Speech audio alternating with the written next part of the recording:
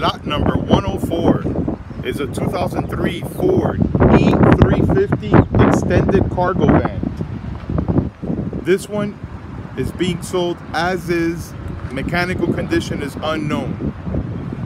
The keys that we have for it only unlock the doors and do not turn the ignition. So it's being sold without an ignition key and I'm unable to test this vehicle. This van has been stopped for about a year. According to the shop notes, it was running when stopped. We don't know if it's running anymore and it's being sold as is unknown mechanical condition. It's got a 6.8 liter V8 6.8 liter V8 automatic transmission and it's condition unknown. We don't know if uh, the, the AC works. It's just being sold as is. The body has minor dents and scratches all around. The paint is peeling and chipped everywhere. It's got surface rust in multiple places. The roof has a lot of surface rust.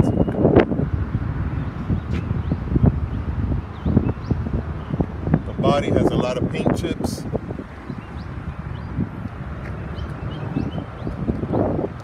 Paint peeling. The body looks pretty straight. The tires look good. It's got a tow hitch. Back doors don't open from the inside or the outside.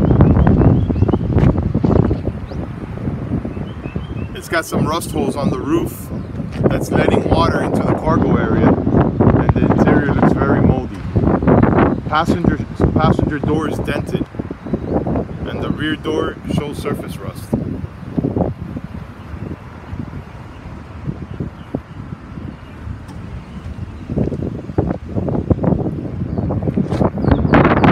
Let me show you inside.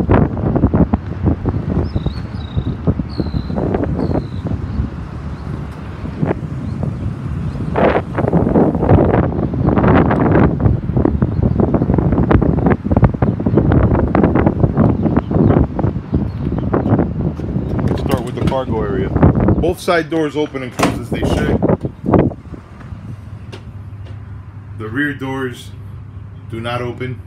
Feels like the handles are disconnected. The light you see there are holes on the roof that have been letting water in to the cargo area. And there's a lot of mold in here. It comes with these three cages. They look like shelves with doors. There's no rust around the door jambs. Van looks solid, but the roof does have rust. The interior up in the cab looks very moldy and dirty. The seats don't look torn. The seats look okay, but it's very moldy. It smells in here, feels wet.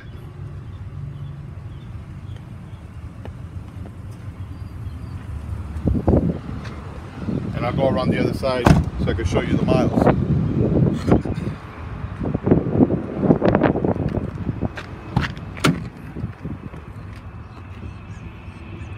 hundred and eighteen thousand miles.